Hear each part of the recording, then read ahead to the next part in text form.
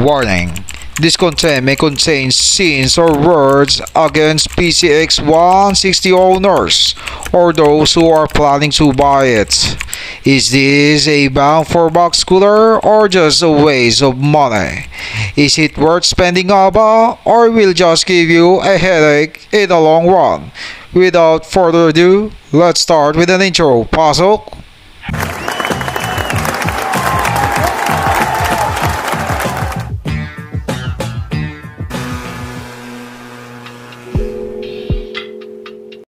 Okay, PCX 160. Medyo negative ang intro ko. Pero babawian ko muna kayo ng mga good points ito.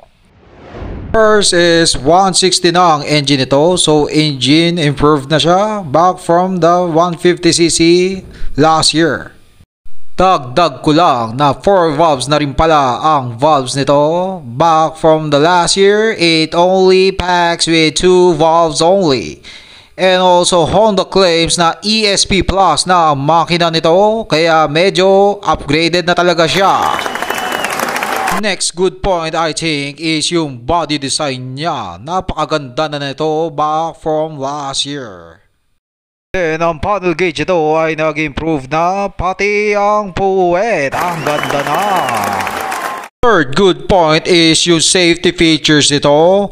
Unahin natin yung kanyang HSTC. Ano nga ba ang HSTC? Magbigay tayo ng example ng AROX.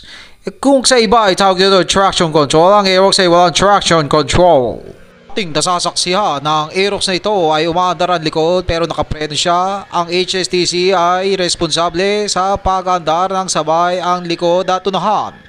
At naman ngayon, nasasaksiyan ang may traction control ng motor. Hindi hinaya ng motor na umandar siya habang nakapreno ang unahan. Kasi binabalanse ni traction control ang takbo ng motor para hindi maaksidente sa sudden slips. Ngayon, kung gusto mong mag-iwan ng marka sa kalsada ay hindi para sa iyo yung may mga traction control. I-off mo na lang pag gusto mo magpudpod ng gulong. May ABS na nga pala to kaso nasa unahan lang wala sa likod. At ito ang isa sa nagustuhan ko. Nagaantay pala to ng bracket para sa likuran niya at pwede rin namang hindi kung ayaw mo. Dagdag ko lang na front shock pala nito ay Showa at ang likod ay hindi ko pa kumpirmado. Fourth good point is the pricing. I was surprised when I saw the price of their CBS version. Ito lang naman yung walang HSTC at yung ABS, pati yung gold emblem na maganda. Ang colors ito ay gray and white. At ito naman yung ABS version na nagkakalaga ng 133,900 na may HTC, ABS at gold emblem. Colors available is white and black. Both variants sports with front and rear disc brakes and also this pricing may change.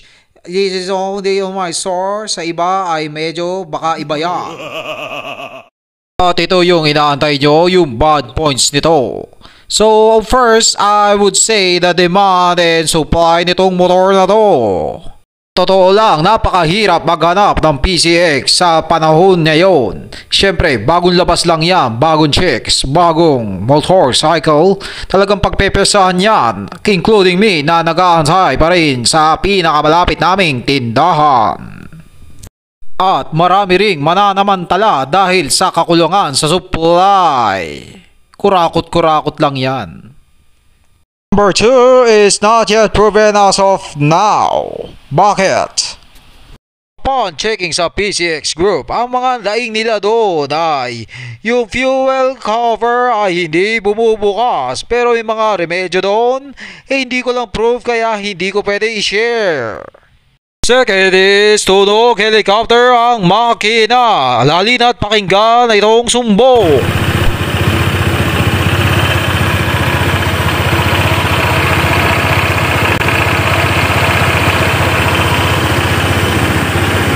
So, kung owner ka ay pa check mo na sa kasa hanggat may warranty kaysa wala na.